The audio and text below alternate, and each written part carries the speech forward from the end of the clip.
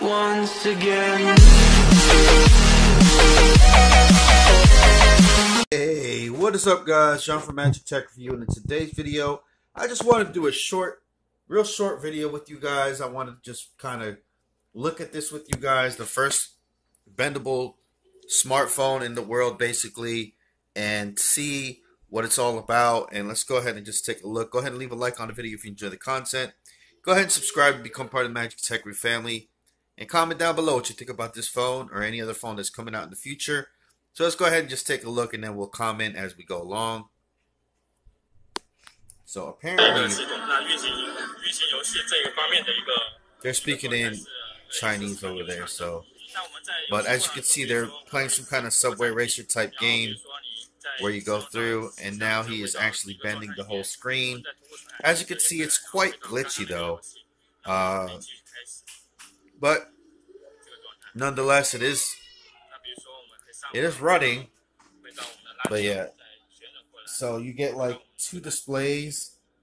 Uh, one, man, that that thing is gonna be that thing is not thin whatsoever, and it's really not pocketable, as you can see there. Uh, and when when he folds it out, you're gonna see that it's really not. It's like really pre-production, but they're actually selling this thing.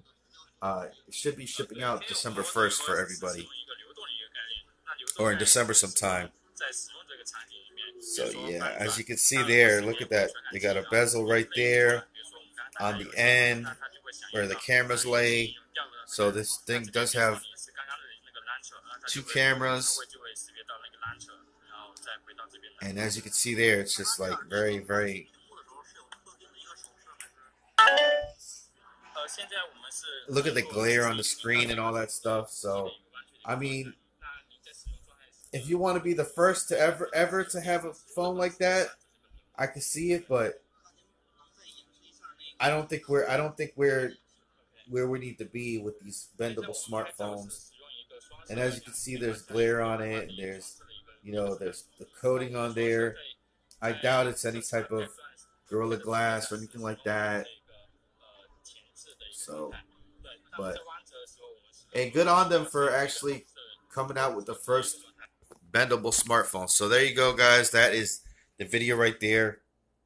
You guys, let me know what you think about this uh, about the video you just saw. It says Samsung and Huawei both just lost the race to unveil the first smartphone with a foldable screen. It says Royole Technology will go down in history as the company that was able to beat both Samsung and Huawei when it comes to unveiling the first foldable smartphone in the world.